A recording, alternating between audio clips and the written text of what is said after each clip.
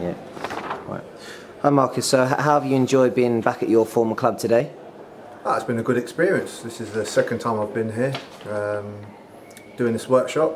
I think it's valuable to the young players that are here. Mm-hmm. Um, I get a lot of satisfaction out of it as well with the kind of stories we can share with them and the experiences that they've already had at a young age and how we can guide and support them. And what does it mean to you to have the chance to sort of educate the next generation of young players coming through about the importance of equality, inclusion, diversity, and our key messages? I think it's, it's vitally important to tap into the younger age age groups. Um, how would we want the game in 10 years' time?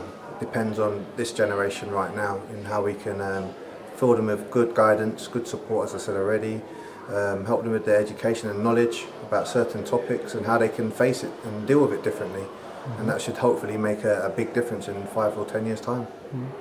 And do you think yourself, as an ex player, that you're able to have a sort of stronger impact on the mindset of sort of football's emerging talents because of your, your own history? Yes, definitely. Um, you know, I've come through that whole process from 14 all the way up.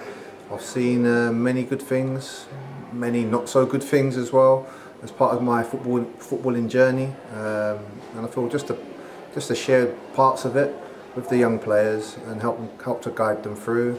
Um, and support, as again I keep saying that word, support is vital for these kids at this age. Mm. In, in terms of their development, it's not just about what they do on the pitch; it's how they move off the pitch, how they need to see themselves as role models as well.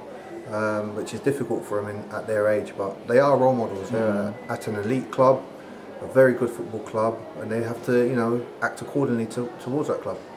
And yes, it's interesting you talk about role, role models. Do you think they find it easy to understand that even if they're 14, they might be a role model for, you know, a kid younger down the academy? Do you think that's easy for them to understand? I think we've had experiences with them that they, they do. They do sometimes see themselves as role models. They have mm. families and friends that all talk about their football.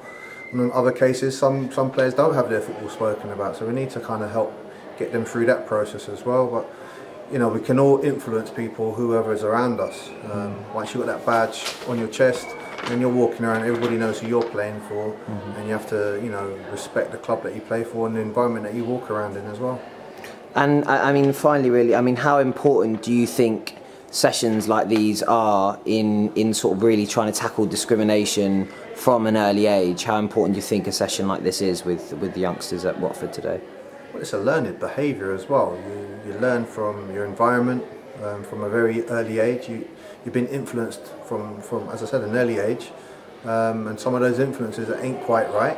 But we're here to, you know, not just to develop the players, but even talk to the parents as well on the environment they create around that elite child and help them through their development because, you know, they're going to keep learning um, throughout the years and we want to just influence them in a positive way so they become a better person as, as well as a better player. Yeah.